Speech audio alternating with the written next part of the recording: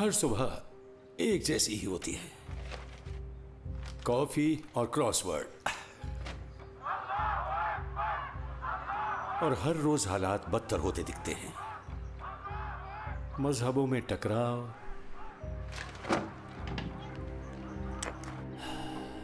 मौसम में बदलाव। लगता है जैसे कयामत आ ही गई है। वैसे इनमें से कोई चीज़ नई नहीं है। हम हज़ारों सालों से दुनिया के अंत की भविष्यवाणी करते आ रहे हैं। नोस्ट्राडमस से भी बहुत पहले बुक ऑफ़ रेवल्यूशन के जमाने से। कयामत के बारे में जो कुछ हम सुनते हैं, उसने जैसे हमें जकड़ लिया है।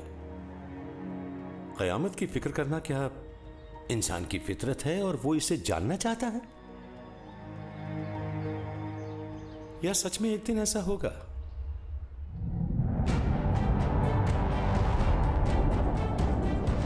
मैं निकल रहा हूँ एक नए सफ़र पर। ये जानने के लिए कि तमाम धर्मों में अपोकलिप्स यानी कयामत की भविष्यवाणी क्यों की गई है? इस शैतान का एक इंसानी नाम है जिसका नंबर है six six six judgment day की सोच का आधार क्या है? सन्स ऑफ़ लाइट टकराएँगे सन्स ऑफ़ डार्कनेस से। हमारी प्राचीन भविष्यवाणियों की गूंज। हमारे बीच तो झड़प चलती रहती है। आज भी सुनाई देती है।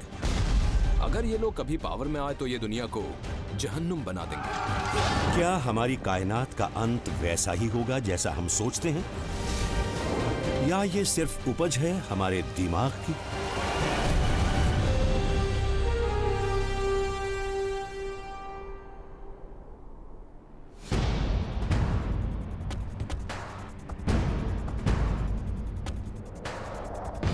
मेरी पहली मंजिल है जेरूसलम।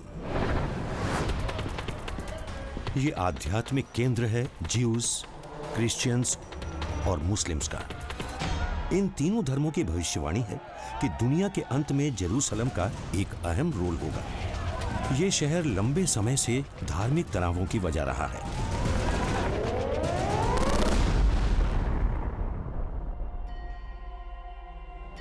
मैं यहाँ आया हूँ योरम हैजनी से मिलने, जो जूडाइज्म की पॉलिटिक्स और थियोलॉजी के एक्सपर्ट हैं।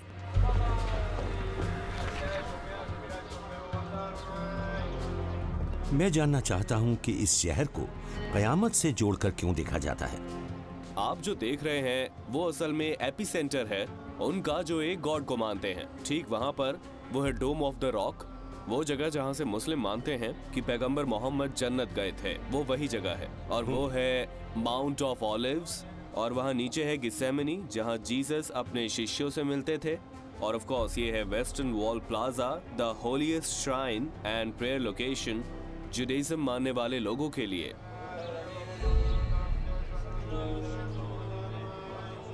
इस पूरे एरिया को कहते हैं टेंपल माउंट ये है वो टेंपल माउंट टेंपल पहले एक सात मंजिल की इमारत थी जो इसके ठीक ऊपर थी जहाँ वो फ्लैट एरिया है जहाँ वो पेड़ है ठीक वहाँ पर।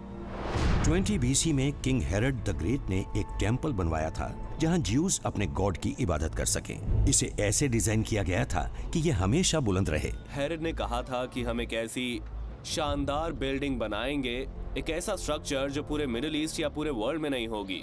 आप नीचे वो बड़े बड़े पत्थर देख सकते हैं, इनको हेरोडियन स्टोन्स कहते हैं। Jewish temple to the one God उस माउंट के ऊपर बना था, इस्लाम और क्रिश्चियनिटी से पहले। लेकिन 70 एडी में रोमन्स ने जेरूसलम को लूटा और टेंपल को तबाह कर दिया। उसके बाद सदियों तक ज्यूज उसके बचे हुए हिस्से के सामने प्रार्थना करते रहे। जिसे कहते हैं वेस्टर्न या वेलिंग वॉल। तकरीबन 1900 साल बाद 1967 में यह जगह ज्यूइश के हवाले कर दी गई।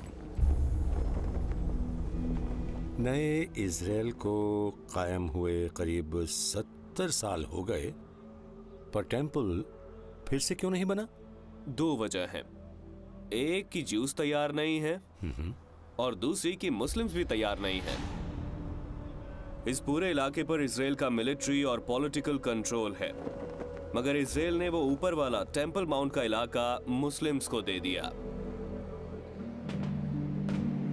हालाँकि माउंट के ऊपर का हिस्सा ज्यूस की पहुँच से बाहर है मगर उसके नीचे वो पवित्र जगह हैं जो यूरम की माने तो कयामत के बारे में जीविश नज़रिए को समझने में मेरी मदद करेंगी। यही वो जगह है।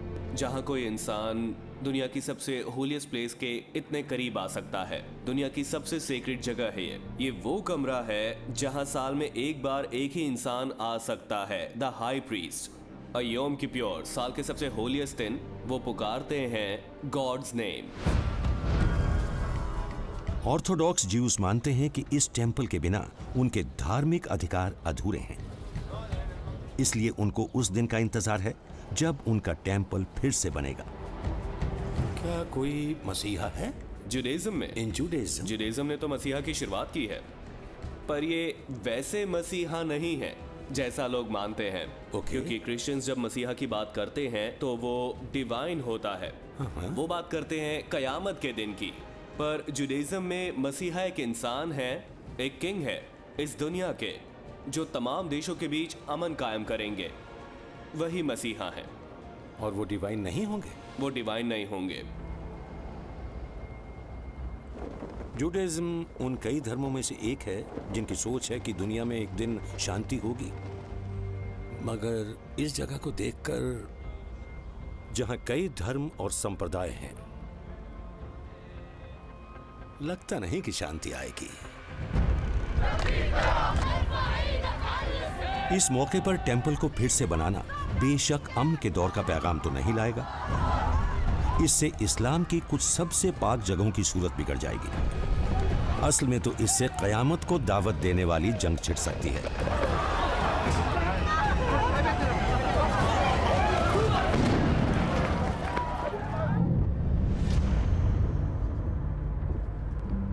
लेकिन खून खराबे से दुनिया का अंत होने की सोच नई नहीं है। 2000 साल पहले सभी जीव्स को उम्मीद नहीं थी कि एक दिन अमन होगा। एक जीविश सेक्ट तो दुनिया के खून खराबे वाले अंत में बहुत ज़्यादा यकीन करता था। आर्कियोलॉजिस्ट जोडी मैग्नस मुझे डेड सी के किनारे लाई हैं जहाँ उनकी प्राचीन भविष्यवाणियाँ बहुत ही अच्छे तरीके से संभली हुई हैं। वेलकम टू कुमरान कुमरान अच्छा अच्छा यहीं से वो स्क्रॉल्स मिले थे है ना? बिल्कुल डेड सी स्क्रोल्स उन 11 केव्स में ही मिले जो इन क्लिफ्स में थे। वो उनमें पहुँचे कैसे? वेल well, ये उन लोगों ने केव्स में रखे थे जो कुमरान में ही रहते थे और एक जूइश सेक्ट से जुड़े थे कॉल्ड एसीन्स एसीन्स तो फिर वो इस वीराने में क्यों आए थे? वो लोग बाकी सबसे दूर रहना चाहते थे बस इसी वजह से डेजर्ट में रहने आ गए। जोडी ने बताया कि एसीन्स यहाँ कुमरान में 100 बीसी के आसपास आबसे थे। उनको लगता था एक ज़बरदस्त लड़ाई छिड़ने वाली है। ऐसी लड़ाई जो दुनिया का अंत करने वाली होगी।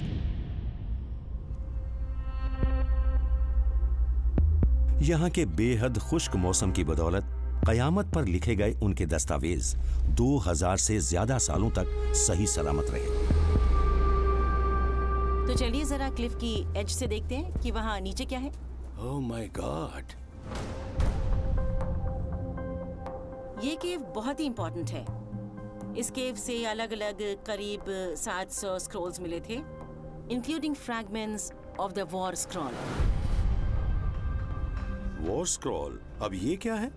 ये वो स्क्रॉल है जिसमें 40 साल चलने वाली कयामत की लड़ाई का ज़िक्र है और उस स्क्रॉल की एक फ़ेमस लाइन के मुताबिक एक ज़बरदस्त तबाही मचाने वाली लड़ाई होगी, जिसमें टकराएँगे sons of light sons of darkness से। और इससे अंत होगा हमेशा के लिए पापों का।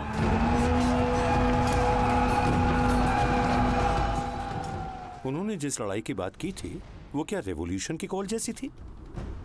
या फिर ये कोई माइथोलॉजिकल एक्सपेक्टेशन जैसी थी? आप वॉल स्क्रॉल पढ़ें तो उसमें एक इंटरेस्टिंग बात ये है कि इसमें घुली मिली हैं जो असल है और हमारे हिसाब से फैंटेसी की बातें लड़ाई में उनको लीड कर रहे थे प्रीस्ट उनके कपड़े भी प्रीस्ट वाले थे जबकि फैक्ट ये है कि वो बात कर रहे थे एंजल्स की फाइटिंग इन द मिथ और सोल्जर्स उसी तरह से लैस थे जैसे उस जमाने के सोल्जर्स हुआ करते थे। तो हमारे सामने है एक ऐसा कॉम्बिनेशन जिसमें है एक असल चीज़ और साथ ही वो चीज़ें जो हमारे हिसाब से इमेजिनरी है। कई दूसरे डूम्सडे कल्ट्स की तरह एसियंस मानते थे कि कयामत का दिन आने वाला है। और गॉड से मिलने की तैयारी में उन्होंने हर तरह की सावधानी बरती। 68 एडी में सन्स ऑफ़ डार्कनेस से उनकी लड़ाई हुई। वो रोमन्स थे। हुकूमत के खिलाफ ज्यूइश बगावत को कुचलने की अपनी मुहिम के तहत उन्होंने कुमरान और एसीन्स को नक्शे से मिटा दिया। तो रोमन लड़ाके उस वक्त बस यहाँ से गुजर रहे थे रास्ते में वो मिल गए और खत्म कर दिया। जी बिल्कुल ठीक है। रोमन्स बेसिकली पूरे इलाके पर कब्जा करने निकले थे।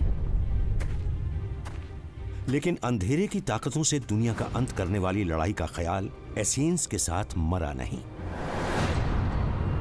ये चुपके से एक दूसरे धर्म में जा पहुँचा जिसकी शुरुआत अभी हो ही रही थी। All roads lead to Rome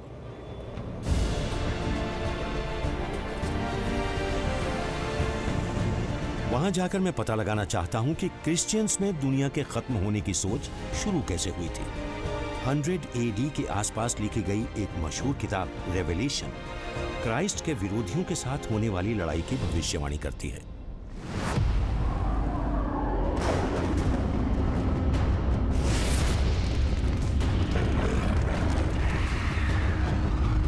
कोई तो ऐसा माहिर हो जो शैतान का नंबर बताए, क्योंकि ये नंबर किसी इंसान का है। उसका नंबर है six six six.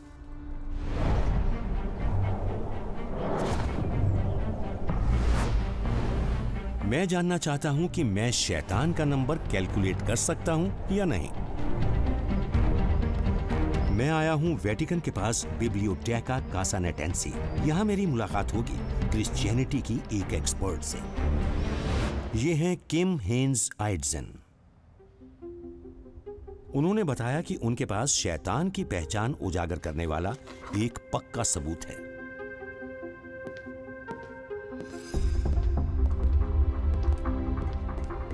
Good morning good morning तो बताइए ये सब क्या क्या है वेल ये बुक ऑफ़ रेवल्यूशन के कुछ हिस्से हैं। The book of Revelation that's right the book of the end of days end of days की कयामत की।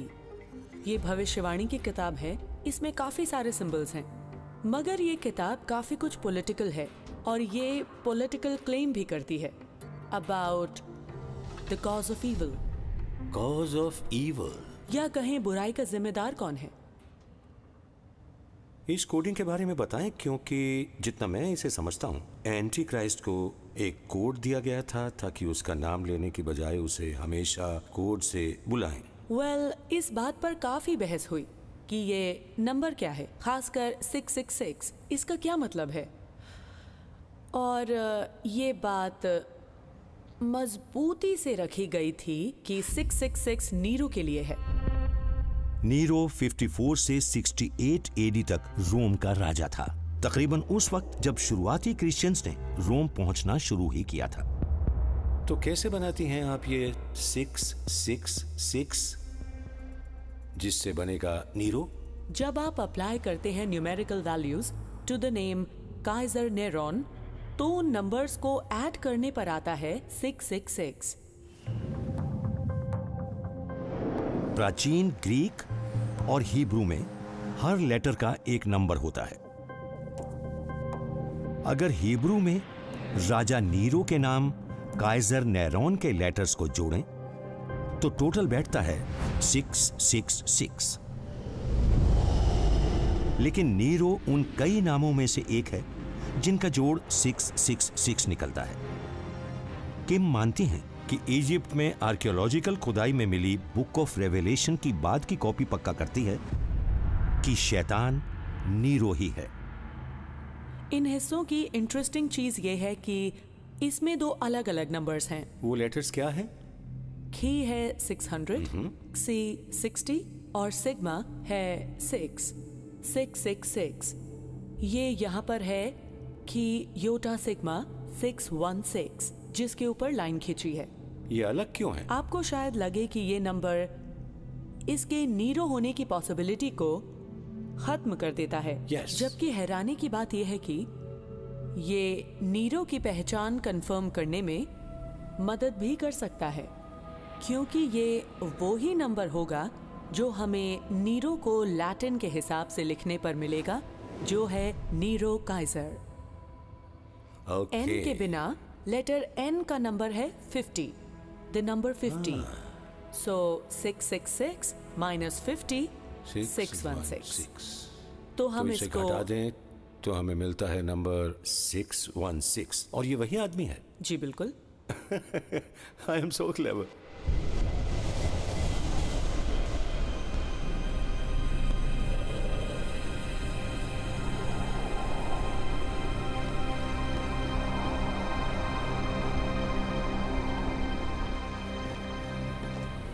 लेकिन शुरुआती क्रिश्चियंस नीरो को एंटी क्राइस्ट क्यों बताते थे? इसका जवाब देने के लिए किम मुझे लेकर आई हैं वेटिकन के बीचों बीच सेंट पीटर्स स्क्वायर में। तो हमें पता है कि कोड 666 एम्परर नीरो के लिए है। क्यों? राजा नीरो से नफरत की कई वजहों में से एक थी उसका क्रिश्चियंस पर जुल्म करना। तो यहाँ इस स्क्वायर में आपको एक चौकोर मीनार नज़र आती है या। जो उसने सर्कस के मोड़ पर अपने खड़े होने के लिए बनवाई थी। Circus Maximus the circus Neronius Neronius हाँ सर्कस यहीं पर होता था और यहीं होती थी चैरिट रेसेस गेम्स मगर बाद में उसने यहीं क्रिश्चियंस को सजा भी दी। सो so, 64 में रोम में भयंकर आग लगी थी और सिटी काफ़ी तबाह हो गई थी। अच्छा। नीरो ने गुस्से में क्रिश्चियंस को इसका जिम्मेदार ठहराते हुए उसने बहुत सारे क्रिश्चियंस को मरवा डाला और जहाँ तक हमें पता है सर्कस की वो जगह यही है। कहा जाता है नीरो ने उस इंसान को भी फांसी दे दी जिसे कई लोग रोम में चर्च की बुनियाद रखने वाला मानते हैं। नाम था पीटर। पीटर की कहानी बताती है उन्हें क्रॉस पर उल्टा लटकाया गया था। और कुछ को आग लगा दी गई। जलाया? हाँ। महल में रोशनी के लिए? इससे पता चलता है उससे इतनी नफरत क्यों की जाती थी? और आज यहाँ सेंट पीटर की याद में बेसिलिका बना हुआ है। ये उन्हीं का चर्च है। अजीब है इसी जगह पीटर ने चर्च की बुनियाद रखी थी। हाँ है ना ड्रामेटिक जिस पर पीटर को फांसी दी गई वो सलीब जहाँ मैं खड़ा हूँ उससे कुछ ही कदम दूर रहा होगा। साफ़ है कि क्रिश्चियंस को नीरो से नफरत थी, वो एंटी क्राइस्ट था। उसके सुसाइड करने के बाद भी लोगों को लगता था कि उसमें इतनी ताकत है कि वो फिर से ज़िंदा होकर हुकूमत चला सकता है। तो उसके लिए एक सीक्रेट कोड रखना ज़्यादा सेफ़ था। लेकिन क्रिश्चियंस के लिए जिन हालात में वो तब रह रहे थे, जजमेंट डे इतनी जल्दी आने वाला नहीं था। कयामत के बारे में क्रिश्चियन सोच रोम के दमन से और गहरी हुई थी। इस शैतानी साम्राज्य ने जेरूसलम को तबाह कर दिया था और जीसस के शुरुआती फॉलोअर्स पर जुल्म किए थे। लेकिन उसके बाद वो सोच एक दूसरे गुट के कुछ लोगों में पहुँच चुकी है। इसका निशाना एक दूसरा शैतानी साम्राज्य है और जिसने कयामत में हम सबके निगले जाने का खतरा पैदा कर दिया है।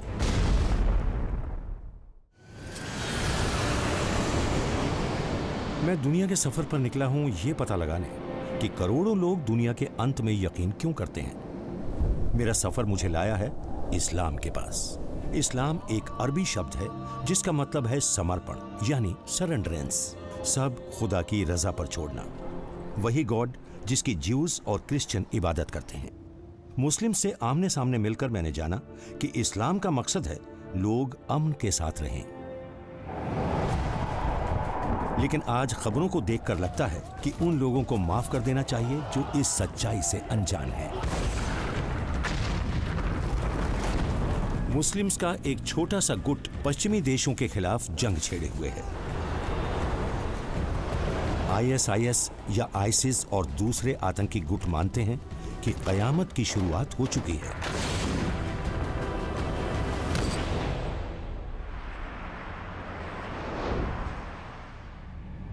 इसकी वजह जानने के लिए मैं आया हूँ न्यूयॉर्क उस शख्स से मिलने जो कभी कयामत बरपाने वाले एक इस्लामी गुट का हाई लेवल रिक्रूटर था।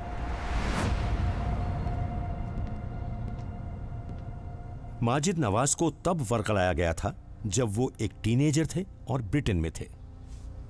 प्लीज़ मुझे बताएँ उस रेडिकलाइजेशन के बारे में। आई थिंक इस्लामिज्म और एक मज़हब के बीच इस्लाम में फ़र्क करना ज़रूरी है। इस्लामिज्म से मेरा मतलब है सोसाइटी पर इस्लाम का कोई भी वर्जन थोपने की चाहत रखना है। हालाँकि मेरे दिमाग में आइडियोलॉजी इसी तरह बैठाई गई थी जैसे यही इस्लाम हो। मैं ब्रिटेन में डोमेस्टिकली रेसिज्म की एक बहुत खून खराबे वाले हालात का सामना करते हुए बड़ा हुआ था। Hammer attacks, machete attacks by neo Nazi, जो लोग बहुत बुरे थे। कई बार तो मैंने अपनी आँखों के सामने अपने दोस्तों को मरते देखा। मैं सिर्फ़ पंद्रह का ही था। मैं खुद को बाकी सोसाइटी से अलग देखने लगा था। एक इस्लामिस्ट रिक्रूटर ने उन हालात में मुझमें एक यंग एंग्री टीनेजर देखा और उस रिक्रूटर ने मेरा फ़ायदा उठा लिया। मैंने हिजबुत तहरीर ज्वाइन कर लिया और उस ग्रुप में मैं तेरह साल लीडर बनकर रहा था। क्या वो अलकायदा से जुड़ने की शुरुआत थी? हाँ ये पहली इस्लामिस्ट ऑर्गेनाइजेशन है जिसने आज के जमाने में मजहबी खलीफा के फिर से पैदा होने की सोच को पॉपुलराइज किया, जिस बात का दावा आज आइसिस करता है। लेकिन मेरे ही फॉर्मर ग्रुप ने पहले इस टर्म को पॉपुलराइज किया था। मैं इजिप्ट में रहा, जहाँ मैं इस मकसद के लिए लोगों को रिक्रूट करता रहा। बाद में मुझे फ़र्स्ट ऑफ़ मार्च 2002 को अरेस्ट कर लिया गया। मुझे कायरो में स्टेट सिक्योरिटी के हेडक्वार्टर्स ले जाया गया टॉर्चर के उनके अंडरग्राउंड तहखानों में। मेरी आँखों पर पट्टी बांधी गई और फिर शुरू हुआ टॉर्चर्स का सिलसिला। टॉर्चर? वो सबको एग्जीक्यूट करने लगे करंट से।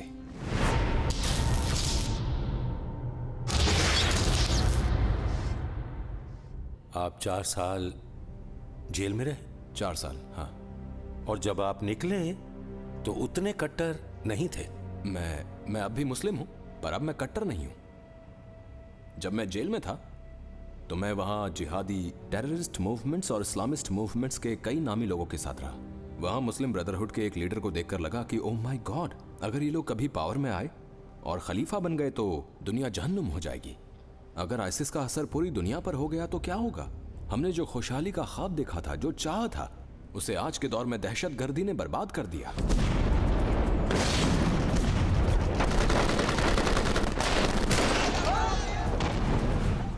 क्या लगता है कयामत का ख्याल इतना लुभाता क्यों है? खासकर इतने नौजवानों को। जब आप पावरलेस फील करते हैं और आपको लगता है आपकी डेस्टिनी पर आपका बस नहीं है जब लगता है कि आप आवाज़ तक नहीं उठा सकते हैं तो ये बहुत लुभावना लगता है जबकि ये गलत है। आप डेस्टिनी के एजेंट बन रहे हैं। तब लगता है कि आप आवाज़ उठा सकते हैं आप हिस्ट्री बना सकते हैं। थैंक यू थैंक यू बहुत जानकारी मिली। And I am glad you are here thank you pleasure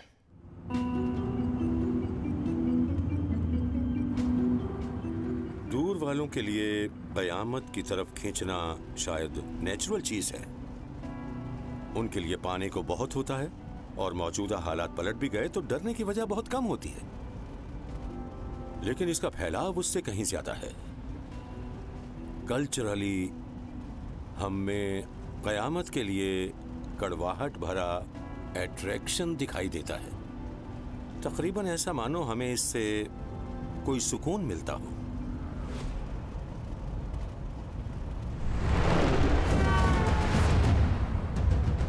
university of Illinois Chicago में साइकोलॉजी प्रोफेसर स्टुअर्ट शैंकमैन कयामत में हमारे सबकॉन्शियस बिलीफ की स्टडी कर रहे हैं। उनका मानना है कि ये शायद हमारे दिमाग में मजबूती से घर कर चुका है।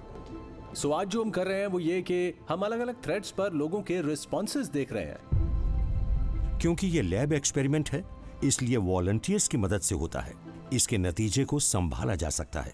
कलाई पर बिजली के हल्के झटके के साथ अचानक शोर सुनाई देता है। इलेक्ट्रोड्स लगी स्कल कैप और वॉलंटियर के चेहरे पर लगे सेंसर्स डर, दिमागी हरकत और उसके स्ट्रेस लेवल्स का रॉ डेटा दर्ज करते हैं।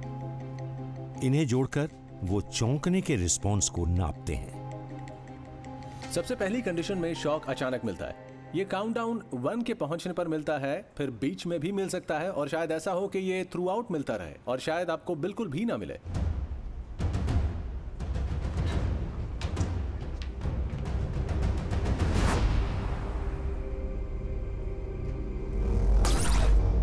अनएक्सपेक्टेड कंडीशन में शॉक ज़्यादा है ना?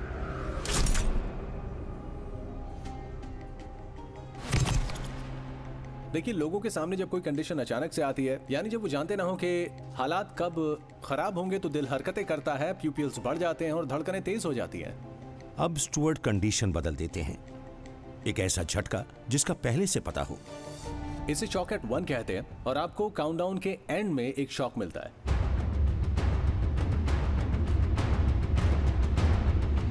इस दर्द भरे मगर पहले से मालूम झटके पर एक अलग रिएक्शन हुआ। बात हैरानी की है। लोगों के सामने जब कोई कंडीशन आती है तो उनके चौंकने का रिस्पॉन्स पहले से पता कंडीशन के मुकाबले कहीं ज़्यादा होता है। बैड कंडीशन के आने का पहले से पता होना क्वालिटेटिवली एक अलग इमोशनल एक्सपीरियंस क्रिएट करता है। ना पता होने के मुकाबले। तो अगर हम अपने माइंड को ये बता दें कि क्या होने वाला है तो हम उसे लेकर थोड़ा सा रिलैक्स हो जाते हैं और हमारा माइंड भी कंफर्ट में होता है। दिमाग के इस मैकेनिज्म से पता चल सकता है कि क्यों हम में से कई आने वाली कयामत में यकीन करते हैं। लेकिन इससे पता चल सकता है डूम्सडे कल्ट्स की तरफ़ अनचाहे खिंचाव का भी। मैं तुम्हें एक ऐसी सल्तनत के बारे में बताता हूँ जो मौत के परे है। वहाँ जाना चाहते हो तो तुम्हें मेरे पीछे आना होगा। ये एक दौर का खात्मा है। लेकिन क्या अंत के बारे में पहले से बताना मुमकिन है? कुछ साल पहले कई लोग मानते थे कि उन्हें ये पता है। मशहूर कहावत पर यकीन करें तो प्राचीन माया लोगों को लगता था कयामत की तारीख तय है। दिसंबर 21, 2012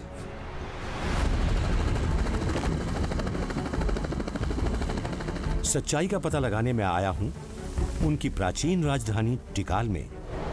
जो ग्वाटामाला में है। मैं स्टैनली गुंटेर से मिला जो मायन इंस्क्रिप्शंस के दुनिया में लीडिंग डिकोडर हैं। तो ये है टेंपल ऑफ़ द मास्क और दूसरी तरफ़ है Temple of the Giant Jaguar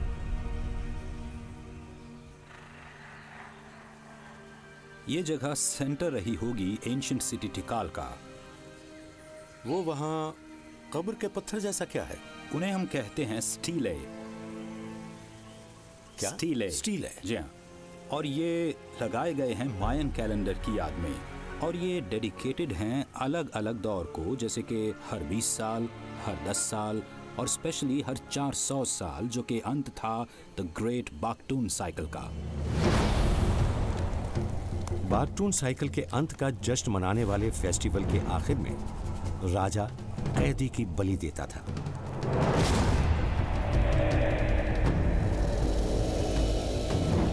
क्या ये कहा जा सकता है कि मायंस मानते थे कि 2012 में दुनिया खत्म हो जाएगी कयामत आ जाएगी? कुछ साल पहले हमने सुना था कि 2012 में तेरहवें बागटून के खत्म होने के साथ दुनिया खत्म हो जाएगी। ये माया की भविष्यवाणी थी। यहाँ एक मॉन्यूमेंट है उसे देखकर बात और साफ़ हो जाएगी।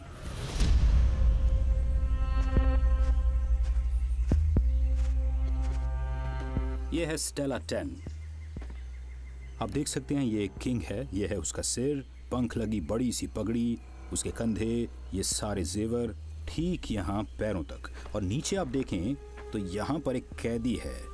ये है उसका सिर उसके दोनों हाथ और उसके पैर यहाँ पर हैं। ये बलि के लिए बंधा हुआ है। इसका कयामत से क्या लेना देना है भला? वेल well, उसके लिए हमें यहाँ पीछे जाना होगा। ओके आइए। यहाँ एक डेट है जो हमें एक खास वक्त बताती है। यहाँ है 11 years एंड 360 days फिर हैं तीन कार्टून्स हर एक करीब 20 साल का तो मतलब ये हो गए 60 और फिर यहाँ पर हैं नौ बागटून्स क्योंकि ये डेट है करीब 525 AD की। और अगर आपको याद हो तो 2012 में 13 बागटून्स खत्म हुए थे। लेकिन सबसे इंटरेस्टिंग बात यह है कि ये मॉन्यूमेंट सिर्फ़ इतना ही नहीं बताता। ये बताता है कि इससे ऊँची यूनिट्स के अभी 19 साइकिल्स और हैं, और उससे भी आगे 11 साइकिल्स और हैं, और ये ऐसे ही चलता है, और हर एक यूनिट पहले वाली से 20 गुना बड़ी है। तो इस मॉन्यूमेंट से पता चलता है कि तेरह बागटून्स किसी कैलेंडर का अंत नहीं था। वो तो बस एक साइकिल का अंत था। इन साइकिल्स की पूरी एक सीरीज़ में से, जिनमें हर एक दूसरी से बड़ी है।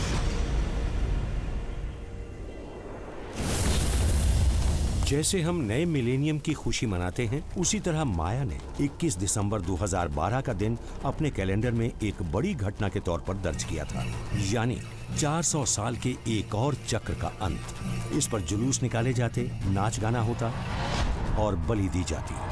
अगर आज मायंस होते तो वो एक बड़ा जश्न मना रहे होते।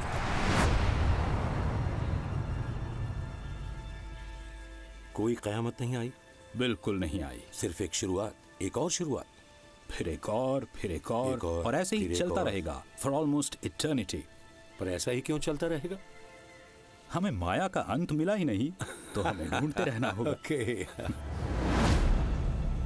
माया के वक्त को देखने के तरीके के बारे में सोचें तो ये ध्यान आता है कि क्रिश्चियनिटी जुडाइज्म और इस्लाम में दुनिया के अंत वाली सोच सब जगह तो दिखती नहीं है। इन धर्मों के लिए आखिरी उम्मीद है कि ईश्वर इंसानों की दुनिया में दखल देगा, फैसला सुनाएगा और उन बुराइयों का अंत करेगा जो हमें अपने आसपास नहीं दिखती, लेकिन करोड़ों बिलीवर्स हैं जो दुनिया को उस तरह से नहीं देखते। उनके मुताबिक समय का चक्र चलता रहता है, शायद हमेशा। कयामत के माने क्या हो सकते हैं, ये जानने के लिए मैं जा रहा हूँ इंडिया। उस दुनिया में जिसका अंत ही ना हो।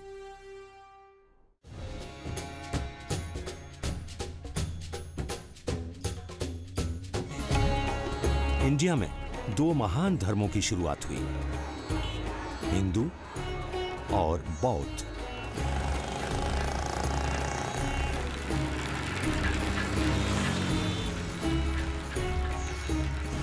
हिंदू मानते हैं कि प्रलय या कयामत हर कुछ अरब साल बाद आती है, लेकिन हर अंत एक नई शुरुआत लाता है और दुनिया फिर से शुरू होती है।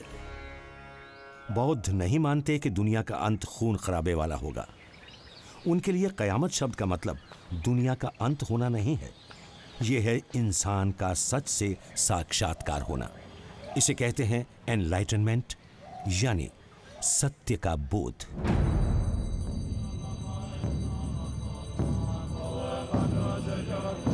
इसका मतलब जानने के लिए मैं आया हूँ सारनाथ। यहाँ मैं दुनिया में सबसे सम्मानित बौद्ध लामाओं में से एक से मिलूँगा। परम पावन ग्याओवांग कर्मापा।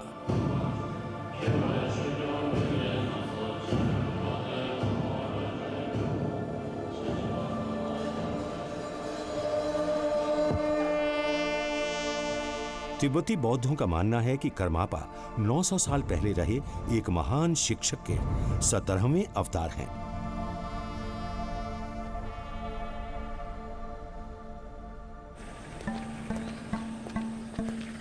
गुड मॉर्निंग नमस्ते। आप इसे कंधे पर डाल डाल लेता हूँ। अब ठीक है। धन्यवाद। थैंक यू चलिए। आइए चलें। आइए। 1992 में एक होली कमीशन नए करमापा की खोज में निकला था और उसे ओगन ट्रिनली डोरजे मिले जो उस वक्त ईस्टर्न तिब्बत में एक खाना बदोश फैमिली के सात साल के बेटे थे। रुतबे के हिसाब से आपकी उम्र कम नहीं है? वो तो है। तो कैसा लगता है आप कैसे यानी ये ठीक है? एक तरफ़ ये अर्थपूर्ण है दूसरी तरफ़ ज़िम्मेदारी का बोझ है। लोगों की उम्मीदें मुझसे बहुत ज़्यादा हैं। तीस साल की उम्र के लिहाज से इनसे उम्मीदें कुछ ज़्यादा ही हैं। कर्मापा को शिक्षा देनी होगी कि ज्ञान कैसे पाया जाए जबकि अभी वो खुद ही ज्ञान की खोज में हैं।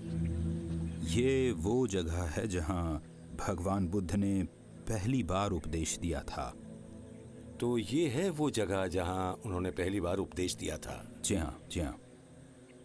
अच्छा। परम पावन मुझे थोड़ा सत्य के ज्ञान के बारे में बताएँ। अगर उसे पाना हो तो शुरुआत कैसे की जाए मैं आपसे जानना चाहूँगा। अगर आप बताएँ तो ओह। सवाल मुश्किल है क्या? जी काफ़ी काफ़ी बड़ा चैलेंज है है। ये। मेरे ख्याल से पहले आपको खुद को पहचानना होगा। मतलब आप कहाँ से आए हैं आप कौन हैं? क्यों आए हैं? हाँ। मैं सच के ज्ञान का थोड़ा इंट्रोडक्शन चाहता हूँ। हाँ। बस इतनी रिक्वेस्ट है। मैं बस कोशिश कर सकता हूँ। ठीक है? Okay okay. कोशिश करूँगा। ओके आइए।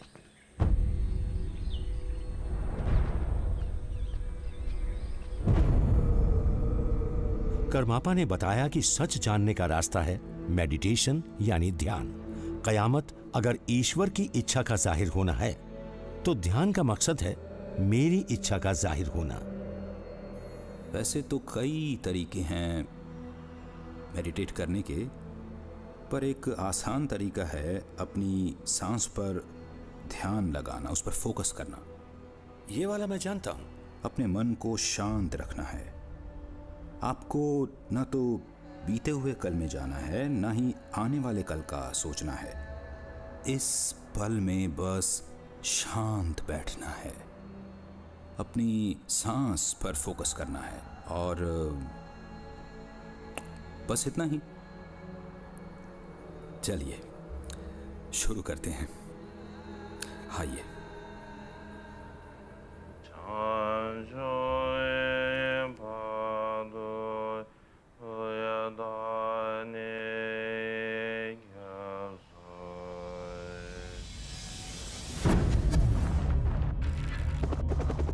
दिमाग को यादों ख्यालों। और भावनाओं से अलग रखना बहुत मुश्किल काम है। सिर्फ़ अपने होने पर ध्यान लगाना। शोरगुल शांत होने के बाद जो बचता है, उसे देखना।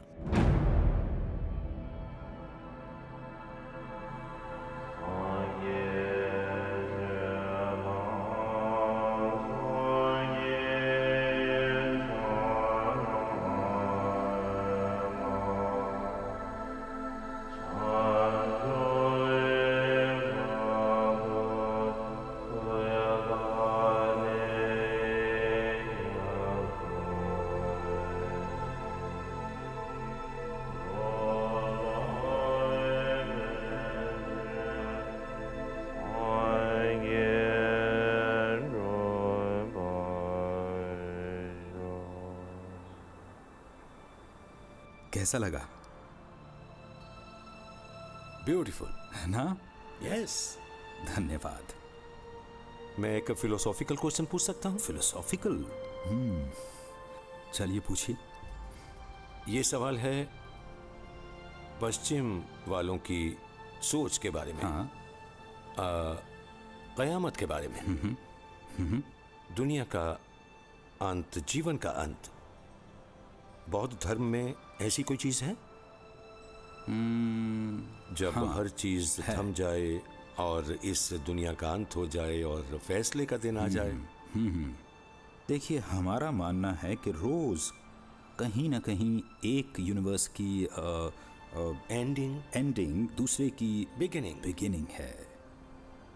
मगर ऐसा नहीं है कि ये प्रलय या फिर कयामत जैसा है। No judgment day no no judgment day ये शायद थोड़ा सा अलग है हम।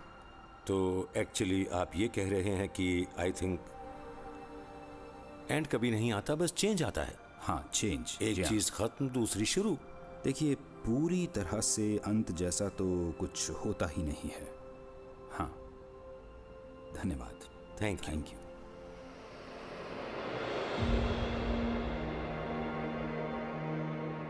जब आप परम पावन कर्मापा जैसे इंसान से मिलते हैं तो मेरे ख्याल से जो चीज़ एकदम अलग से दिखती है, वो है उनकी नम्रता। कर्मापा ऐसा महसूस ही नहीं होने देते कि वो खुद को आपसे महान, आपसे ऊँचा मानते हैं। कि आपसे किसी भी तरह से बेहतर है? यहाँ वो बाकी हम सबकी ही तरह खोज में लगे हैं। समझने की कोशिश कर रहे हैं कि हम यहाँ क्यों आए हैं। सच को जानने की कोशिश में हैं, ज्ञान की खोज में हैं।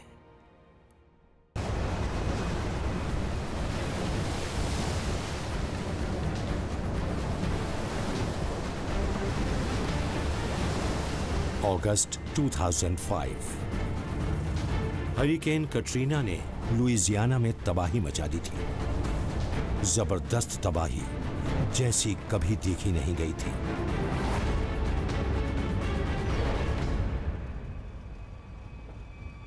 कुछ को तो लगा कि कयामत यहीं आने वाली है, न्यू ऑर्लिन्स में।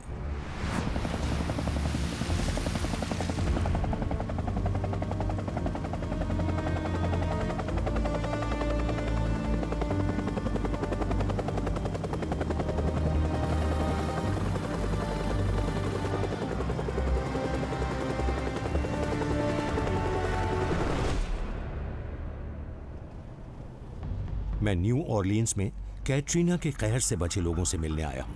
ये जानने कि उन्होंने कयामत का सामना कैसे किया और इससे उनमें क्या बदलाव आया। न्यू ऑर्लियंस में रहने वाले चार्ल्स और एंजेला मार्सालिस अपने लोकल चर्च में हैं जो तूफ़ान के वक्त एक पनाहगाह बन गया था। तो ये Carlton Avenue Church of Christ है जहाँ आपने तूफ़ान Yes. आने पर थोड़ा वक्त गुजारा था। यहाँ आप कैसे आ पहुँचे थे? हम यहाँ रात भर रुकने के बाद अगले दिन सुबह होने पर घर लौटने वाले थे। और हमें रात भर तेज हवा चलने की आवाज़ें आती रही। शोर बहुत बहुत तेज था। आई I मीन mean, हम बहुत डर गए थे और मैं अपने घुटनों पर बैठकर प्रे करने लगी। और हम देख रहे थे कि पानी बढ़ता ही जा रहा है। लग रहा था पानी अंदर नहीं आएगा लेकिन वो तो बढ़ता ही गया। मार्सालिस फैमिली सबसे कट चुकी थी। टूटे बाँध से अरबों गैलन पानी अंदर आ चुका था। तीन दिन बाद रेड क्रॉस ने उनको वहाँ से निकालकर पानी से घिरे एक पुल पर पहुँचाया जहाँ तूफ़ान में बचे घबराए लोगों की भीड़ जमा थी। वहाँ एकदम घुप अंधेरा था। पानी के अंदर एलिगेटर्स और स्नेक्स वगैरह थे। वहाँ बीमार लोग थे। व्हील चेयर्स पर बैठी औरतें थीं। हमने वहाँ लोगों को ड्रग्स लेते ड्रग्स और गन्स बेचते देखा। मुझे लगा जैसे शैतान अपनी असलियत दिखा रहा था। वो वक्त बहुत खराब था। हाँ। बहुत खराब वक्त था वो। या। बड़े खौफनाक हालात थे और खौफनाक हालात लोगों से अच्छे से अच्छा और बुरे से बुरा हाँ, काम करा सकते हैं। बिल्कुल। उन हालात में आपने क्या किया? मैं एक मिनिस्टर हूँ। मेरे सामने जीसस की संतानें थीं। तो मैंने इनसे कहा इस वक्त हमें लोगों का ध्यान कहीं और लगाना होगा। हमें कुछ करना चाहिए। और हमने गाना शुरू कर दिया। इसके बाद तो लोग कहने लगे कि ये गाना सुनाओ वो गाना सुनाओ। याद नहीं ये कब तक चला हम कब तक गाते रहे। पूरी रात।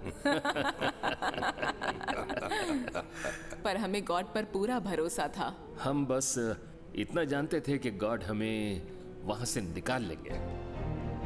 कैटरीना ने न्यू ऑर्लियंस के पाप नहीं धोए। ये ऊपर वाले की सजा के तौर पर नहीं आया था। इसने जख्म दिए। हाँ लेकिन इसने लोगों की आँखें भी खोली। जो बचा था, उसे संजोने के लिए और मिलकर कुछ बेहतर बनाने के लिए। मैं ये जानने के लिए निकला था कि अलग अलग धर्मों को मानने वालों के लिए कयामत के माने क्या हैं। मैं हमेशा से इसे सब कुछ तबाह कर देने वाला दुनिया का अंत ही माना करता था। लेकिन मैंने पाया कि कुछ लोग कयामत की राह देखते हैं। वो अन्याय से छुटकारा पाना चाहते हैं, पीड़ा से मुक्ति चाहते हैं। एक बेहतर दुनिया चाहते हैं। अपोकलिप्स ये एक ग्रीक वर्ड है, जिसके माने हैं पर्दा हटाना। ये लड़ाई की बात नहीं करता, ज्ञान पाने की करता है। ये मौत की बात नहीं करता ये दिलो दिमाग की वो दशा है जो हमारी मदद करती है सच को देखने में। ना कि दूर, कयामत यानी डे ऑफ़ जजमेंट की। जो अभी है और यही है। हुँ?